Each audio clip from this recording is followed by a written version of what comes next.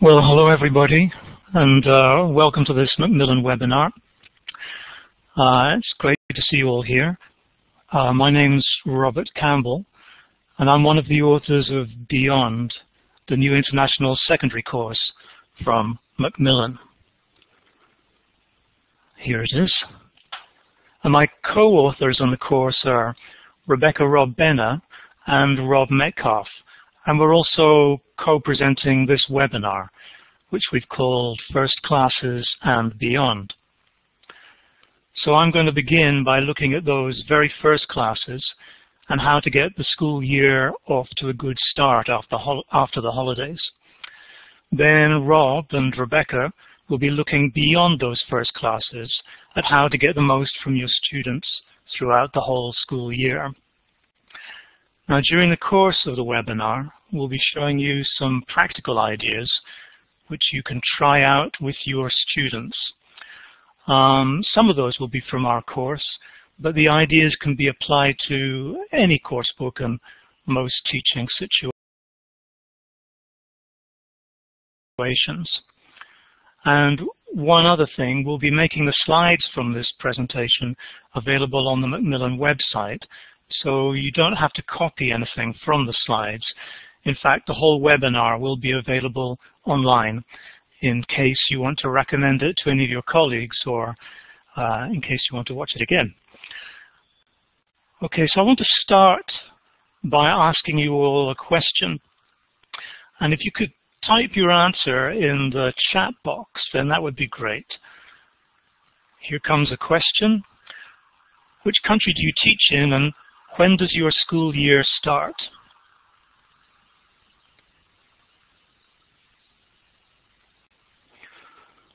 Okay, England September, Uruguay March, Argentina March, Japan April. Any more?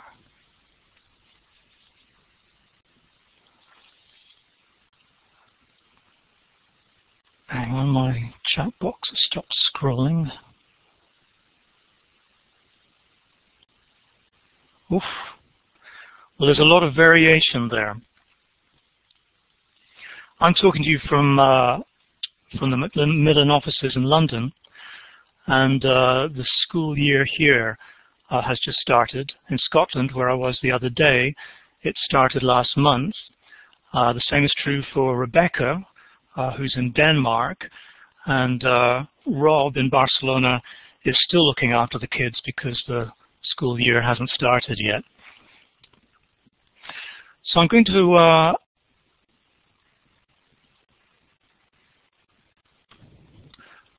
show you this. It's for teachers. Now this is a magazine that I used to produce in, uh, in Spain for teachers of English.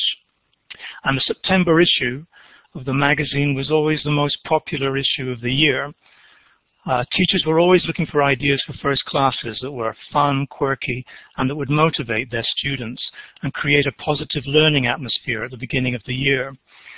So I'm going to show you one of those activities now, which I've adapted for this webinar. So if we were in the classroom, it would work like this. First of all, I'd, uh, I'd write some names on the board. Okay, Here's another question. How many of these names do you recognize? One, two, or all three? Can you type the number in the box? Okay, so some of you have got all three. Okay, I'm going to add some more names now. These ones should be more familiar to you. Now in the classroom, I'd ask you to tell me who the people are and find out which of the people you like. Then I'd explain that all of these names have been in the news over the last few months.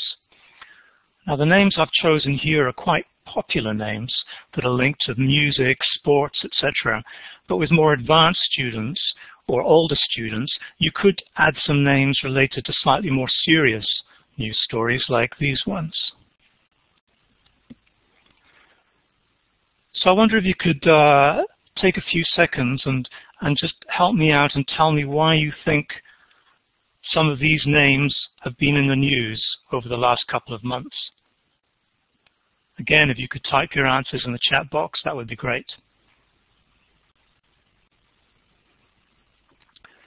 Ebola, the World Cup, politics, Robin Williams died, Footballer of the Year, Bill Gates. Okay, I could help you if I tell you all the names that are in blue are linked to one specific news story. Do you know which one that is?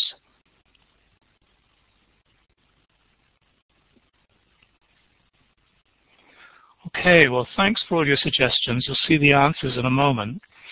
But if you go back to the classroom, after we talked about all the names and possible connections to news stories, I divide the class into two teams and give each team a piece of paper with some information about the news stories, but with the names missing. The students in their two teams would then complete their sentences using some of the names on the board. So here if I show you a sample sentences for team A, you can think which names would fit in those gaps. And here are the answers.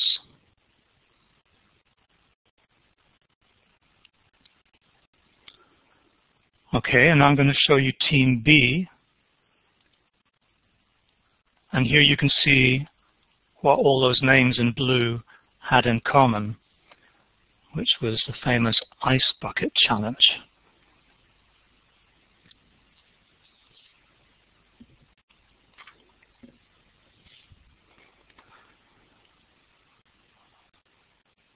And now I'd ask each team to prepare some questions based on the news stories.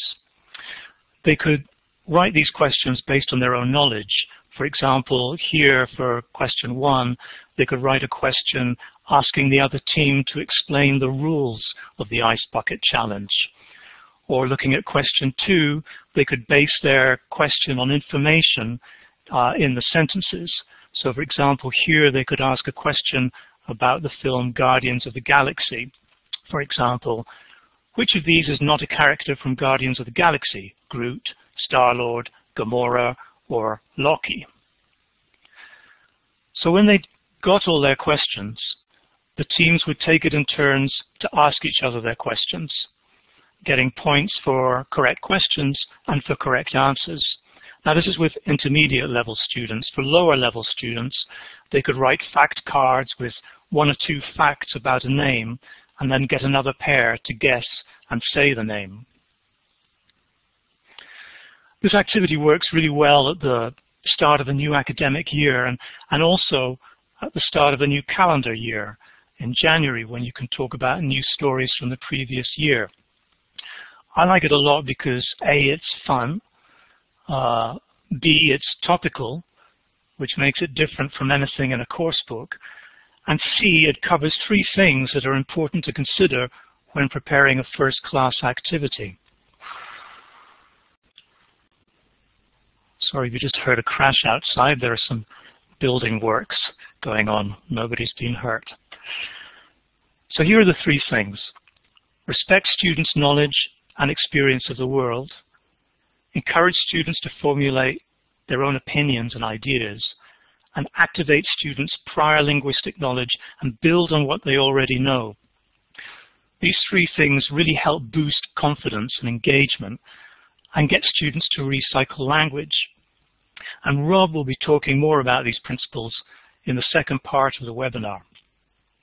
Now, as I said before, we use the names in the news activity quite often in the magazine over the years. And although the magazine is taking a rest at the moment, a lot of the material is still out there. And, uh, and you'll find some of it at One Stop English. Okay, here we're looking at the One Stop English page. Now, out of interest, if you use the yes-no box, could you just tell me uh, how many of you are members of One Stop English or regularly use it? Yes or no? Wow, that's encouraging.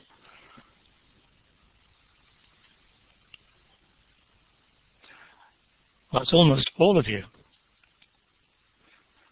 Well, we're looking at the home page of One Stop English, and you'll see at the top there are the different tabs for the different sections of the site.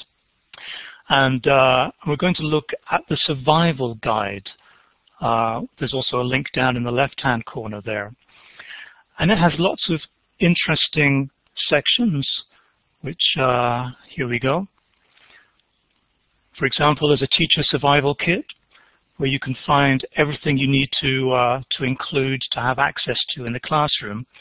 But there's also a section here on first classes, and there you'll find more than 20 really easy to use activities. And this is just to give you a taste of the kind of activities you'll find there. So first of all, get to know your students. Now if you're uh, teaching a new class, here you'll find some tips for remembering names. For example, uh, try to do activities in which students have to use each other's names as often as possible so you and they can get used to the different names. And actually before, uh, before we started the, the webinar, Rob was telling me about one of his favorite activities, which is uh, the teacher writing a letter of introduction to new students with uh, missing information about you and your life. So in groups, students then prepare questions to ask you to try and find out what that information is and complete your letter. And then they can write their own letters about themselves. It works really well because the initial focus is on the teacher and not on the students. Uh, it can review grammar that you want to focus on, and it creates a nice personal link between the teacher and the students. Uh, we carry on down this list, uh, find out how much vocabulary they know. Even with beginner level students, uh, you can show them how much uh, vocabulary they already know by giving them categories and asking them to write as many words in English as they can for each category. And I think uh, they will be surprised at how much money they already, how much money, how much vocabulary and English they already know. Uh, designing a class mascot is also a great idea for kids, but it also works for teenagers. Um, you could get your students into teams and get them to design a class mascot, and then the class votes on the one that they like best. And this is very useful for you for uh, later teaching. If you want to give examples, you can always refer to the class mascot instead of um, having to draw stick figures on the board or whatever. And finally, if your students are new to the school, you could write some true-false questions about the school, which they can only answer by exploring the school. So for example, you could say the library is opposite class 21. Is that true or false? And send the students out to have a look. Now Beyond, our course also has a section at One Stop English and uh, it's in the teens area. And there are lots of activities here and more are being added all the time. I'd like to show you one of those activities, which is uh, fun to do at the beginning of the school year. It's in the knowledge section. Okay, and this is called a class contract. And uh, you start off by giving the students a model contract. It's an agreement between the teacher and the students, dealing with the, with the things that each party agrees to do during the school year. And the, first of all, the students would look through this model contract and see which of the statements they agree with or disagree with. Then, you would give them a blank contract and in small groups And in small groups, they would draw up their own contract, and then the different groups would compare contracts until eventually they end up with a single contract for the class, which both the teacher and the students can sign. A lot of course books also include ideas for first classes, and uh, in the lower levels of Beyond, uh, we included a starter unit which is designed to be used in those first classes. Now we used a comic uh, to remind students of things they've already learned, and as they read the comic, they have to complete related games uh, and tasks. And in the same way as the students might have explored the school to find out more about the school, you can do the same with your course book. I think we often start the school year uh, using the course book without really introducing our students to it and showing off all its features.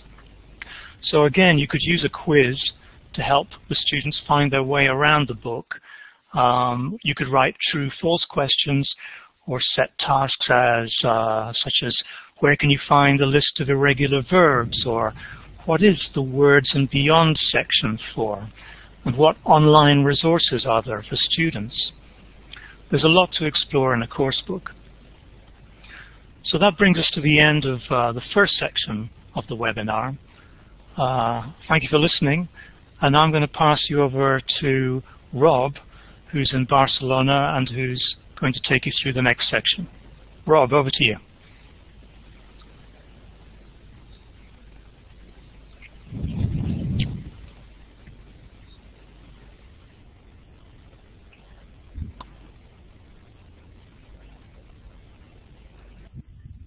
Thank you, Robert. Well, a warm welcome to you from, from Barcelona, where it is warm and maybe a little bit too humid. Can I just check you can all uh, see and hear me? I look a bit stuttery on my own video camera, so I'm a tiny bit worried about that. Can you can you hear me at least?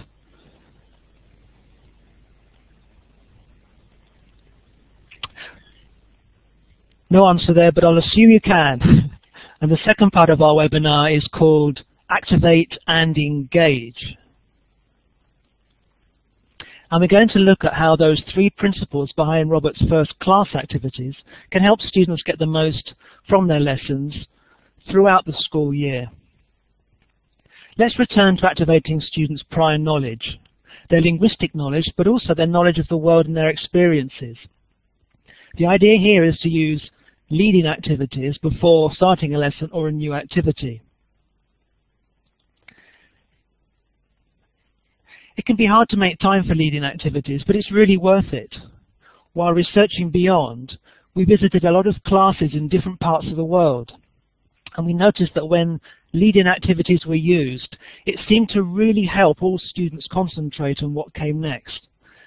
In fact, we were so struck by this that we decided to include a lead-in activity in every lesson in, in Beyond and to start every unit with a recall section. Here's just an example of what I mean by that. This is from uh, an A2 plus level wait, uh, activity on uh, unit on work, so I got confused with the slides there, on work. And I just zoom on, on the lead in activity there so you can see it. Here's the triangle. The activity works with visuals, but if you don't have visuals, it's very easy to improvise activities like this where students classify uh, vocabulary they already know by, um, you could use an example like this one, for example, on food.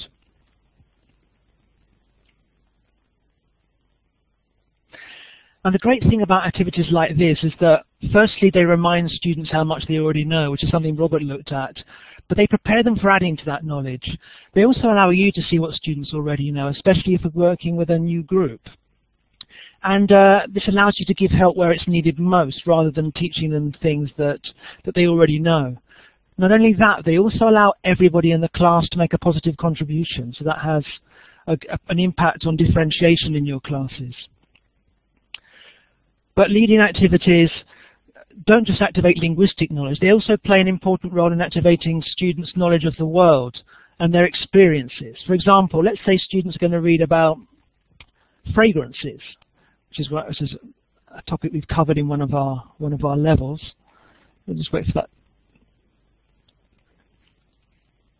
Let's take a look at that. A good lead-in activity to activate knowledge of the topic will get students to talk about fragrances. So you can see the first activity on the on the um, on the screen there. Which, per which perfumes and fragrances can you name? What different types of products use fragrances? That's quite a generative idea, you know. Fragrances are everywhere when you think about it, not just not just in the sense of buying buying fragrances to wear. Exercise 2 is then used to activate knowledge of how to approach reading a text like this. That's another form of world knowledge. It gets them to look at visible clues before they start reading. This is something they probably do outside class, but they might not transfer this skill to reading in their English class. So it's something that's really useful to activate as, as world knowledge, to transfer these skills into, into their English classes. And in both activities, activating world knowledge helps students to focus on what comes next, and it maximizes their chances, in this case, of understanding a text, but if it was in a, in a speaking class, it would maximize their chances of, of communicating, taking the focus off content and onto, onto sort of uh, deciding how to say things. Uh, uh, uh just one second. Activating personal experiences has a similar role in maximizing comprehension or communication. So, you know, imagine you're going to do a, a fairly sort of standard listening type, which would be a radio news program. It would help to have a lead-in activity like this one. Just wait for that to come up. It gets students talking about their contact with the radio. It also activates related vocabulary and their knowledge of a particular text type, radio news. Now, most course books include lead-in activities, at least in some places, though for space reasons they're sometimes in, tucked away in teachers' books. But as our examples show, they're easy to improvise. So um, I might well be preaching, preaching to the converted here. So could you just quickly tell me, how do you feel about using lead-in activities? Do you find you have time for them in your classes? Could you just put a quick yes into the box there if you, if you, if you do manage to find time to do that? Very important. Yes, I'm with you on that one. Lots of yeses there. Yes, always. Good. It's it's surprising how um how when we were watching classes how when when when they're not done it's it's very interesting to watch how students can get lost, especially students who find it harder to follow things. That's very positive. So Lead-in, uh, lead-in activities activate knowledge and experiences, which in turn helps to engage students. We're going to look now at uh, different ways to engage your students at different times during the, during the class and uh, during activity sequences. And we've grouped our ideas into three categories, which you can see here. There are more categories, obviously, but we chose to focus on these three. On clear aims, on personalization, and on cognitive engagement. And let's start with clear aims. Clear aims help give a class direction and a sense of purpose. It also helps students to remember new language. We think if the lesson aim tells them what they're going to do with it, how it will, will help them to communicate. So to introduce a class on the past simple, for example, rather than say uh, this, which would be, today we're going to study the past simple, would perhaps make more sense and be more memorable for the students to say, you're going to learn to talk about completed events in the past, or maybe that's even too technical. You're going to learn to talk about things in the past, things from your weekend. And in skills lessons, like reading, listening, speaking, writing lessons, it helps if students know what sub-skill they're going to be learning. So they're always aware of what they're going to do to improve the way they listen and read, not just focusing on comprehension. Let's look at a couple of examples. If we go back to the radio news program, after doing the lead-in activity, which I'll just flick onto the screen again, students could uh, listen and order topics in the news, which is what we did with, the, with our particular text. You could say now, can you listen and do exercise two? Well, that doesn't tell students what they're going to listen to or how you want them to listen to it. It would be more helpful, more supportive to say, you're going to listen to a radio news program now. As you listen, can you do exercise two? Giving them some time to read the instructions, obviously. And then to do this exercise, you don't need to understand everything. I just want you to listen for key words to help you put the topics in the correct order. It takes, it takes longer, but it makes it clear to students that the aim is to get a general understanding of the text and to use keywords to do that. Let's look at another example now. Let's look at this. This one's from a B1 level reading that we have about um, dangerous school journeys. Here it is. Um, and I hope that that's, uh, none of your school journeys are as dangerous as, as these particular ones are. There's a lead-in activity, as, as we were talking about before, um, which activates the topic and personal experiences. Uh, students then make predictions about where the where the, the kids in the pictures come from, and then they read to check their predictions. Now again, they're just they're told that they just need to read enough to be able to check their predictions at this point. The the uh, the, the sort of detailed comprehension comes in, in the next activity. And then finally, towards the bottom of the page, there's uh, exercise 4b. There's there's um there's a, there's an activity which helps students identify the reference of some of the referring words in the text. It's clear on the page, but students still need to be told what referring words are and how recognizing what they refer to will help them understand not only this text but also other texts that they read. They're learning a transferable skill, and we think this is a key point: is that is that class aim should help students understand how what they're learning can be transferred to other situations in and outside the classroom. Another way of uh, engaging students is the regular use of personalization, you know, giving students the opportunity to react to material and relate or adapt it to their lives. The lead-in activities we looked at did this, and here are some other ideas that you can use at other stages during a lesson. The first one is just simply to get students to react to things. And I know this from my own teaching experience and from watching other teachers, that it's, it's sometimes easy to forget that uh, to give students the opportunity to express their reaction to the content of what they just read or listened to. But it's a great opportunity for some real communication, that real communication that, that pushes their pushes their level along and as it plays you know, the vital role in the learning process. So for example, after this uh, reading about the, the, scary school journeys, they have a lot to they presumably have a lot to say, and uh, an activity like this would help them to to give them the uh, the space to to talk about their reactions. And the news the the news stories might have got them thinking as well. So an activity like this would help them to uh, to express what they felt about listening to the news stories and you know relate the material to the news going on in their own lives or in their own in the world around them, their city, their country.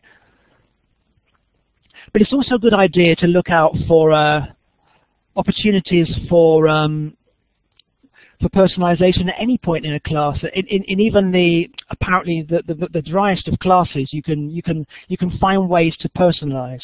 So if you have an, uh, a grammar activity like this, for example, Here's an example of a, of a, a grammar activity.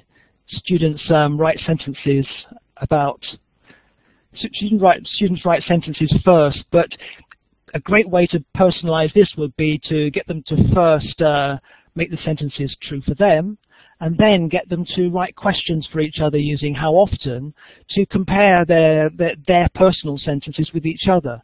So it's just an example of how an, an apparently um, dry activity can be used to, to generate a personal, a personal content and get students personally involved with material. And last on our list was cognitive engagement, getting students to notice and work things out for themselves, but also using material uh, and activities that get students thinking. Many textbooks encourage students to work out rules. But you can, you can improvise activities if your textbook doesn't. For example, course books today tend to focus on grammar that students have, have met previously um, in a reading or listening lesson. So you could find an example of a new structure used in context before starting um, a grammar lesson from your course book. Here's one from a, an example of uh, grammar contextualized from a from a, a course book text from from at A2 level. So here it is. And I'd like you to um, just tell me what what um, what language do you think it's intended to um, contextualize? Any any answers there? What is it? What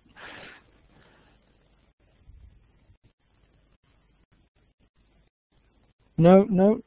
Going, going, gone.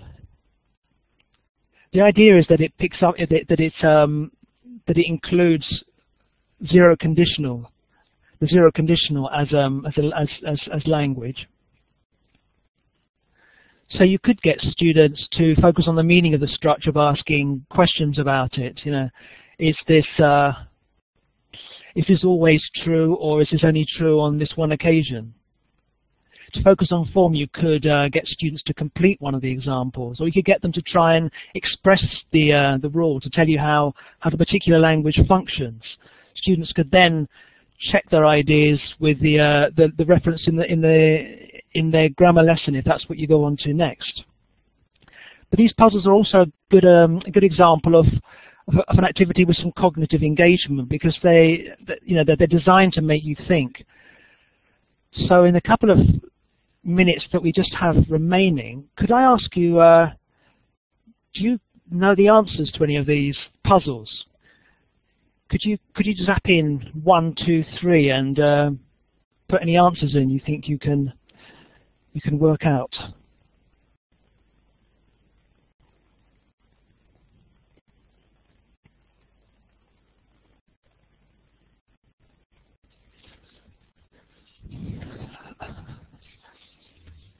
I don't seem to have cognitively engaged you. no, no, nobody, nobody want to sort of see if they can uh, give the answer to one of those, one of those puzzles. I'm looking down at the chat box there.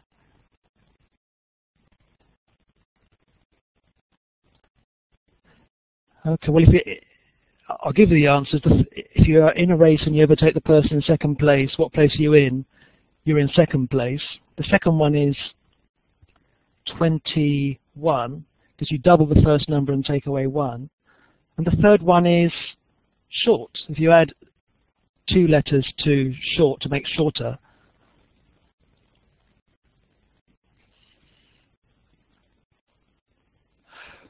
Well, that's the end of uh, the second part of our webinar. I'm going to hand you over to Rebecca now, who will be talking about how you can challenge your students and get them to remember what they've learned. Hello, yes I am. So, are you there, Rebecca? thanks. Over to okay, you. Okay, thanks then. Um, hello everyone. I hope you're enjoying the webinar so far. Um, just say if you can't hear me at all, I can hear the voices going a bit squeaky sometimes, so hope that's okay. All right, um, in this section now then, we're going to move on to looking at challenge and consolidation. So how you can help your students to really make the most of their learning experience through challenging them to do better and consolidating their language. So the first section we're going to focus on is using review and feedback to set personal goals and improve language performance. And then we're going to look at using additional resources to consolidate and practice language. So let's first look at the role of review and feedback. As you know, the more often language is reviewed and recycled, the better it will be retained by students. Can I ask you, are any of you familiar with the Ebbinghaus forgetting curve? Sorry, that's a bit of a mouthful. Okay, some of you saying yes. Um, most of you aren't familiar with it. Okay, here it is. Um, Hermann Ebbinghaus plotted this curve on the basis of his own learning experiments in the late 19th century. If you look at the red curve, um, let me see if I can show you. That's this one here. Uh, you can see that he found if knowledge isn't reviewed, it's forgotten very quickly, with 50% being forgotten after the very first day. That's here. However, he also found that if material is reviewed and recycled at certain points in time after learning, then it's possible to retain about 90% of what has been learned. So this is represented here by the green line, the learning curve. What is important here is the spacing of the review. So the first crucial review of material needs to take place here. So within 24 hours of learning. And the next reviews fairly quickly afterwards if you want your students to remember uh, what they've learned. So I can see a lot of comments here about the audio. I'll try and adjust my microphone. See if that's any better. Okay, so in a good course book, um, there should be lots of inbuilt recycling within a unit. Um, but it's imperative that you make sure that students review material as soon as possible by giving them homework and also by reviewing new language the next day at the start of the lesson by using the sort of warmers that Rob was talking about earlier. Obviously your course book can help you out with unit reviews. Uh, most course books have these. So the sort of reviews where students do exercises at the end of the unit in order to see how much they've remembered of the unit language. Um, this one's an example from Beyond A2+. You won't be able to read it, but you'll see that we cover vocabulary, uh, lexical sets presented in the unit, as well as grammar and transferable skills. So all the things that link back to the aims of the unit. We think these sort of reviews are best done by students on their own and then self-checked. So it's not just enough for students to do the exercise and say, hey, great, I got 35 out of 50 or whatever it is, uh, and then move on. What they really need to do is look at the areas they did well in or didn't do well in. So is it a vocabulary was okay maybe, but the structures weren't too good? Uh, did your students maybe have problems with a certain skill?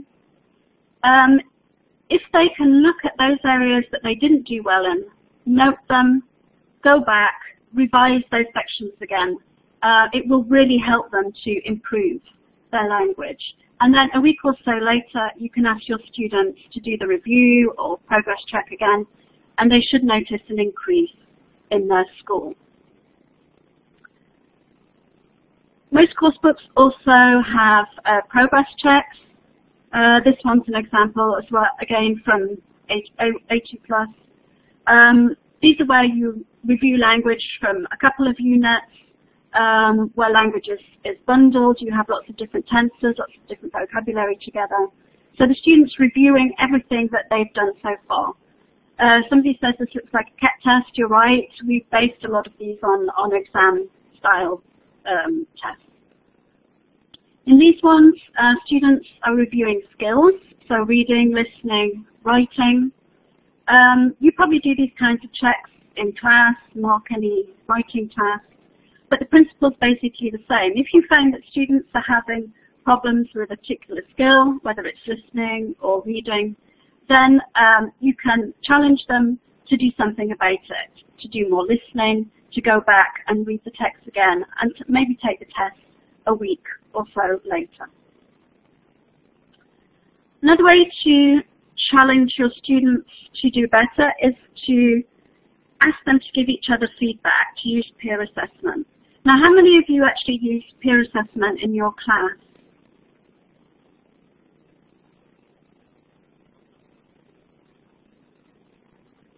Great, lots of you do. Somebody says it's important to be honest, definitely.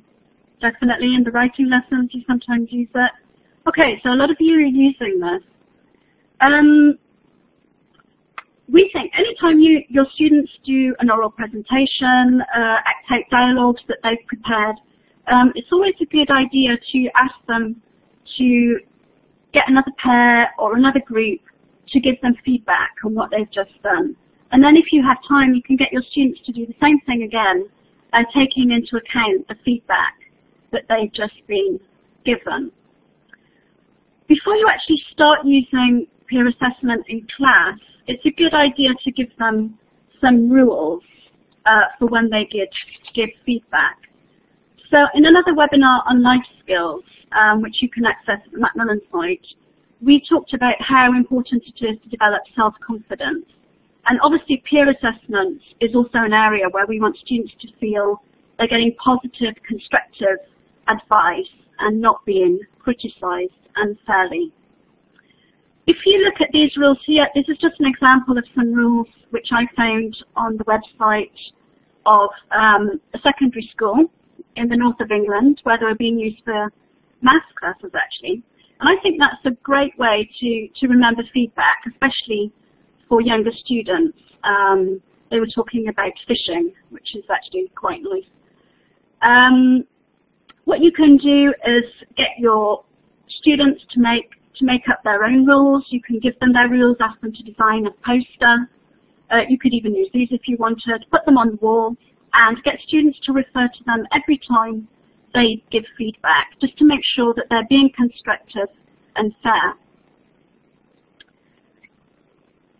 If you look here, it says uh, you want your feedback to be uh, specific. Okay, so how can you do this? Well, you can use lots of different types of feedback forms. Um, I'm sure that you have different types of feedback forms that you do. They need to be specific to your aims of what you want to achieve in the class, obviously. Um, you can use smileys, especially if you've got younger learners. Please um, get your students to just write, uh, draw a smiley in the box. You can get them to use adjectives such as fantastic, good, okay, not so good, or you can get them to use a number on a scale. Um, the important thing is whatever scale you use, whether you use smileys, adjectives, um, use a four-point scale rather than a five-point scale. You don't want students saying something's really terrible, really horrible. Okay, so so the worst that they should be able to say is it's not so good. Okay, to keep to keep up the confidence of your students. Another type of form that you can use with um, more advanced students, you can use multiple choice and then give them the chance to add extra comments um, or maybe just questions that they have for the writer. This is one that we developed for B1+. Plus. Okay, so it's for, higher level students. For high level students, you could also use just a blank form, something like this. This is um, two stars and a wish. This is an example um, of a type of form where students can simply write two things that they thought was good. So they're the two stars. You know, what did you like? Did you like the fact that it was interesting, the pictures, uh, the language that was used? They can focus on anything that you think is important. And the final section is the things that they thought were lacking or something that they, they would wish to be included next time in a presentation, for example. Okay, so that's a more open form of peer assessment. Um, to finish this part on reviewing, before we go on to the resources, um, let's look at correction of written work. Now, when you mark written work, how do, how do you do it? Uh, do you have some sort of system for um, helping your students uh, to correct their own mistakes? Do you correct all the mistakes for them? Okay, so some of you use a correction code. Yeah, excellent. Most of you do. Yeah. Okay, so you're, most of you are using correction codes. Whether it's a green pen or a red pen, it doesn't really make any difference. Great. Okay. So what type of things do you focus on then? What sort of, uh, when you use your correction code, what sort of corrections do you do? Do you use abbreviations? Okay, you use corrections for meaning. Okay, yeah, some of you abbreviations You underline the mistakes, okay, and then get students to correct them. Right. Great. Okay. Right, I'm going to show you an example here. Um, this is this is actually from my son's English class. He's 11, um, and I'm afraid he's got terrible handwriting, so I hope you can read it. Um, and it's a story about a, a, parrot that's flown away from its owner. And I, I thought when I read this, I thought the content is actually really nice. Um, but the mistakes that he tends to make are spelling, which I've abbreviated here with SP, and um, punctuation, which is, is P. And the other big mistake or uh, thing that's not so good is at the beginning he's got uh, a tense mistake. He starts in the present and goes into the past. Now I've only put these uh, abbreviations here so that you can see what sort of mistakes they're making. If I were marking this, I wouldn't actually write all these mistakes here because it's, it's a, a, few of you are saying it's negative marking, okay, and that, that's really um, not a positive way to encourage and motivate your students. Um, what I noticed from this is the categories of things that are wrong. Okay, so if you were marking this, then you could just choose to say, make one general comment about you could do more on your spelling, uh, for example. Okay, uh, and then get get your students to go back and, and rewrite the misspelled words or rewrite uh, the, the structure again with punctuation. You could also choose to not focus on mistakes at all and just focus on the content and say, this is a really nice story, great, well done. Um, or you could simply focus on any sort of mistakes that uh, would lead to the, the written work not being understood. So it's, it's really important what you want to focus on. Do you want to focus on the content mainly? Do you want to focus on certain areas? Okay, so think about what the aim is for you in giving this written work when you actually do the corrections.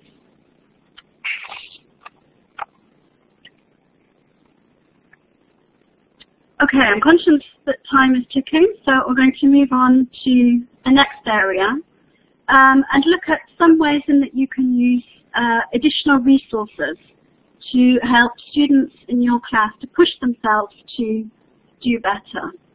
Now one way um, that you can help them do this is by using projects. Now I'm presuming that you all do use uh, projects in your classes. Some course books will have them in the actual course book, some others will have them on the website, or in the teacher's book, yes, you're saying you use projects, excellent, yeah. So this one here is an example from Beyond. Um, this is A2 plus. Okay, and here we just give some suggestions for projects that you could use after every second unit. Um, you've probably not got time to do five a year, but if you did, then you could do all five, or you could just get your students to choose one or two that look interesting for them. The important thing is that students are going to need lots of guidance and scaffolding um, to help them get started on projects. So um, it's really important that you give them that scaffolding to help them start off and structure their project. So this is an example that we have for Beyond. We have um, step-to-step, uh, step-by-step guidelines on the website for the project. Um, and we have things like we give students an introduction to the topic to explain what sort of um, text type they're dealing with. Um, there are step-by-step -step instructions like this. There are examples of things that students could write. And there also there's also language help uh, to help students communicate in English with each other while they're doing the project. So if your coursebook doesn't have this, then it's quite easy for you to put things like this together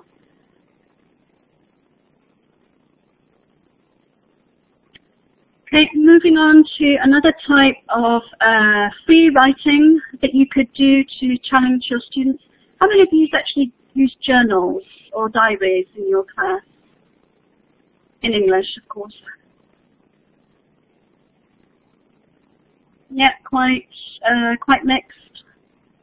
Yeah, it's a really good idea to get students to keep a diary uh, or a journal in English um, this could be over the summer holidays where they write what they do or about everyday events in the school week. Um, you can tailor it to certain language areas. So if you're doing food and health, you could get your students to write what they eat. Obviously, being careful uh, if you've got a class of teenage girl. Um, or you could, if you're doing clothes, you could get your students to write, to write what they wear every day, um, particularly at the weekends. Okay, but the main purpose here is that students recycle language that they've learned and that they just get used to simply writing in English. Um, personally, I think journals uh, should be done individually and just done for student size um, so that they just read them themselves. And unless a student volunteers to read something out or, or to show a partner, um, but, but you might see that differently. Um, basically up to you, depending on the size, sort of information that your students are writing in journals. A lot of you say that you have too much to do, but this is something really that you can ask students to do on their own at home. It's not something that you need to correct or, or look at in any way. Right, what about web tools? Do you use web tools? Um, get your students to go on the internet and do guided writing. Yep, lots of you do. Right, I'm, I'm sure that you have your favorite tools. I'm just going to show you a couple of mine very quickly. Um, this is Glogster, which I, I really like because students can use lots of design ele elements. They can add in audio, video, okay, to make their own electronic posters. And you can use it with any type of text or topic. Another one of my favorites is uh, Storybird. This is really good uh, for writing stories. It starts by the student choosing artwork, so if they don't have any ideas, then they can actually, you know, just look at the artwork and they can build a story around the artwork that's already there. So they don't need to be super creative um, if they don't want to. And they can make it look like a real book so that readers can uh, turn the pages. Okay, and uh, you've got the, the link there at the top. Okay, and you'll be able to see those later, obviously, on the website. So the last idea, because I think our time's nearly up, the last idea that I want to uh, mention is using graded readers for reading for pleasure. So do you actually use graded readers as well? And um, if you use them, do you use them in class or do you use them at home? Yeah, some of you saying they're expensive. Like yes, yes, I know they're expensive. Um, yeah, both home, both, okay. Um, any sort of extensive reading that students can do will help to consolidate what they've learned and expand their language. So if your school does have the financial resources, do make graded readers available to your students at the correct level.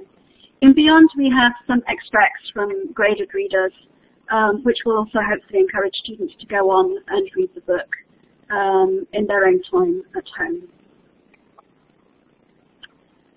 Okay, so that was a quick gallop through a few ideas. So I'm going to summarize what we've talked about today. So Robert talked about ideas for the first classes of the new academic year. Rob talked about some ideas to engage and activate your students throughout the year. And I've just whipped through a couple of ideas to challenge your students using review and additional resources. So thank you very much for joining us. Um, we do have a couple of minutes, so uh, if you have any questions, then please just type them into the box, and Robert, Rob, and myself um, will try and answer them.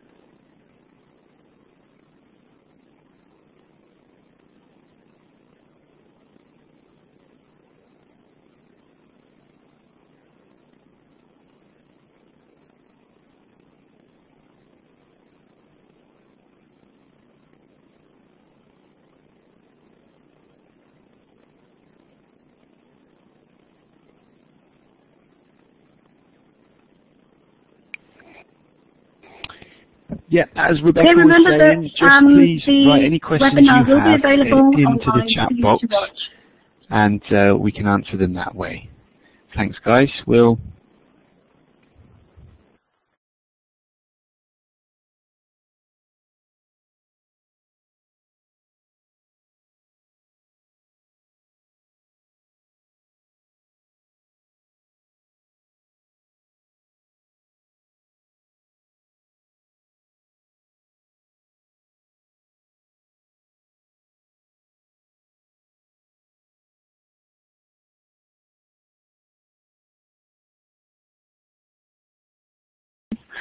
Oh, I'm seeing a few questions come in, uh, which I'll try and put to our hosts quickly.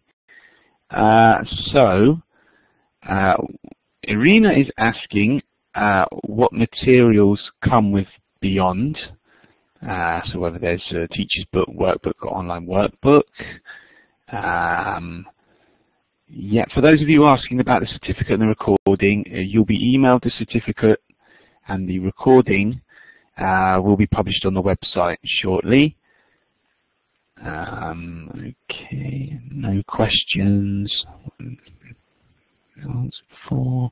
I'm sharing the Beyond website in the chat box now, which Irina, that should help answer your question. Uh, you can visit that in your own time. Um,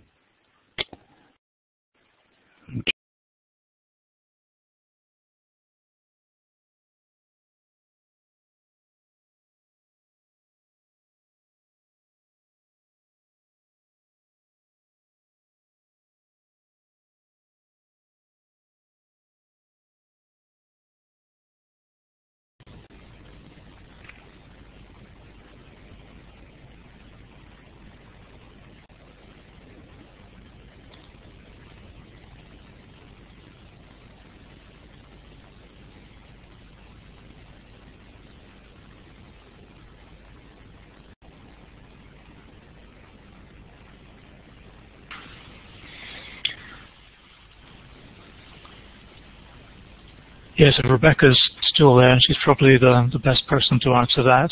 I see there are, there are quite a few questions about beyond how many levels there are, and uh, so beyond is, is a six-level course. It goes from A1 plus up to B2.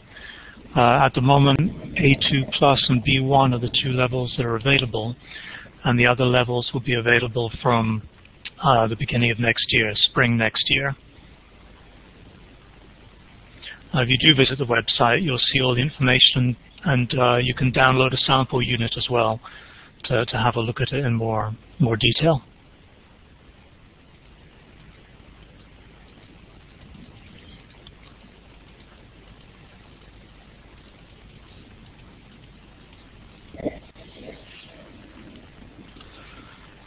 So um, on behalf of the three of us, just like to say thank you again and uh, we'll be hopefully we'll be back for another webinar before too long. Thank you all. Thank you very much for, for, for joining us today. Yeah. Thanks, everyone. Okay. Take care. Bye.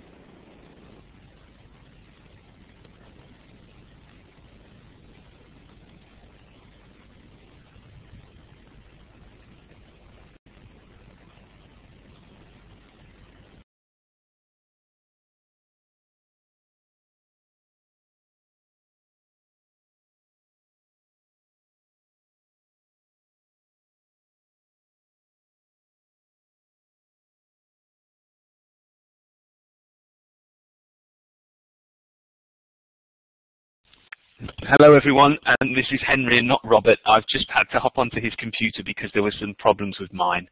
Um, I just wanted to say a final goodbye to everyone who came today and thank you all again for uh, joining us today for this webinar. Um, just a quick reminder, the recording and the slides are going to be available from the Macmillan English website shortly, so I would expect by tomorrow at the latest. And we will email you all with your certificates if you registered to attend, uh, hopefully tomorrow as well, so don't worry. So what I'm going to do now is just close down the webinar and exit out of the room. If you have um, any questions, then please use the email address that was sent to you in the confirmation email when you registered and we'll uh, aim to reply as soon as possible. So uh, once again, thank you and we wish you all the best for uh, the new term uh, this year.